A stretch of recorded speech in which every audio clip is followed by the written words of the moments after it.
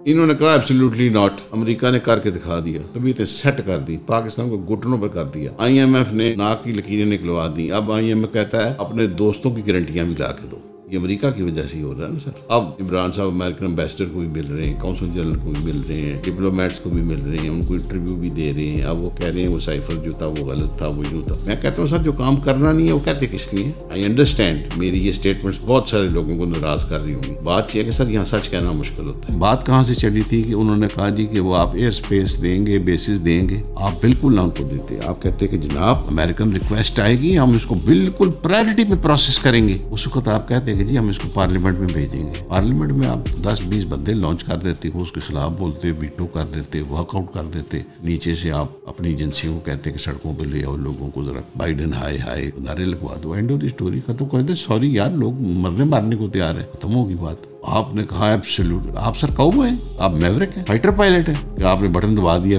इस तरह सर, इस तरह होती है डिप्लोमेसी इस तरह होती है कोई बातचीत। इस तरह नहीं सर मुल्क चलते, इस तरह नहीं चल सकते। आप बड़े तरीके से, बड़े ढंग से, बड़े तरीके से चीज़ों को लेके चलते I respect him I like him I love him जो उसने सर जिस तरह इस्लाम का बोलबाला किया जिस तरह पाकिस्तान की सॉवरेनिटी की बात की है, किसी ने की, सर मोहब्बत है हमें उसे लेकिन सर ना ना करे इस तरह की मतलब कमज़ोर बातें ना ना करे, लूज बोले ना ना खेले, लूज टॉक ना ना करे सर, समझदारी के साथ चले ना।